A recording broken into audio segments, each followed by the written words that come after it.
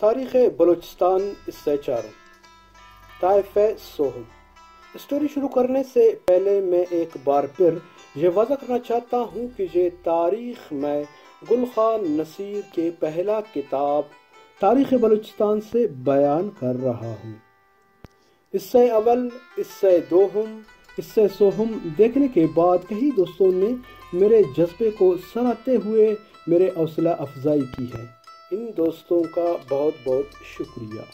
इसके साथ कुछ लिखे पड़े जाहिलों ने कमेंट किए थे। उन लोगों को मैं सिर्फ़ इतना कहूँगा कि कुत्तों की भौंकने से कोई बहादुर शख्स अपना रास्ता नहीं छोड़ता। इंसान की औकात और नस्ल का पता उस वक्त चल जाता है जब वो बोलना शुरू करता है। तुम लोगों की ज़ात, नस्ल, औकात मैं जान चुका हूँ। बहरहाल दिगर दोस्तों से गुजारिश है कि जिन जिन दोस्तों ने इससे अवल इससे दोहम, इससे सोहम अभी तक नहीं देखा है, पहले वो देखिए। फिर मुझे शहूरी तरीके से आगाही दे दे। आप दोस्तों का बहुत बहुत शुक्रिया। अब शुरू करते हैं इससे चारों। शुरू होने से पहले जिन जिन दोस्तों ने हमारा चैनल सब्सक्राइब नहीं किए हैं सबसे पहले आप हमारे चैनल को सब्सक्राइब करें और घंटी के निशान पर ज़रूर अंगूठे लगाएँ। ताइफ सोहम मकरान की सरहद से बंदर अब्बास तक चाहे की सरहद से लेकर सीस्तान तक, और अफगानी और ईरानी सरहदों के साथ साथ इराक तक बलोचों का एक और ताइफा कदीम से आबाद चला आता है, जिनको उर्फ़ आम में नारदाही बलोच कहते हैं।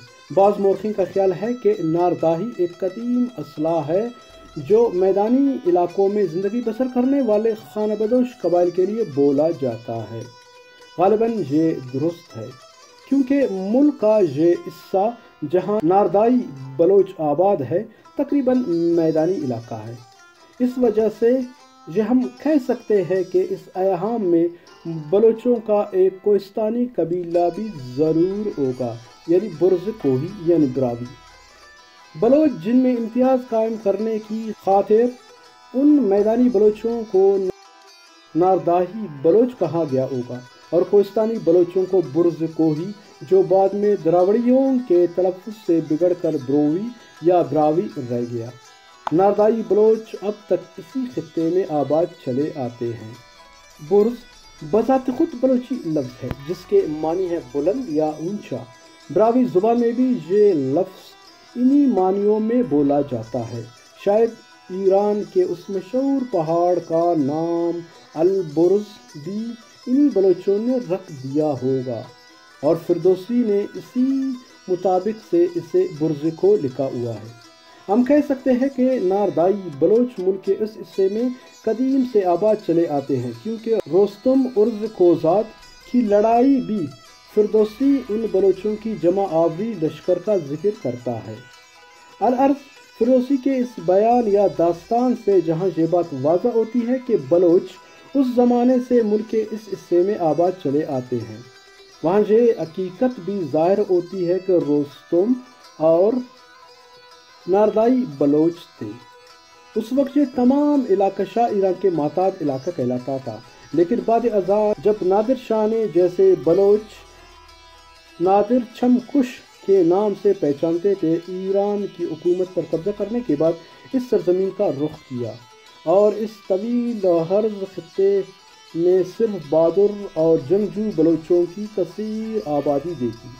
तब इसने इस सरजमीन को बलूचिस्तान के नाम से सरफराज किया, जो रफ्ता रफ्ता इस तमाम मुल्क पर मुस्तमिल हुआ, जिसे आज का नक्शा बलूचिस्तान के नाम से पेश करता है।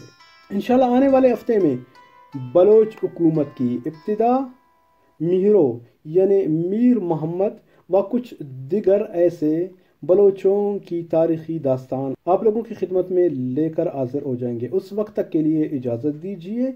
अल्लाह हाफिज़।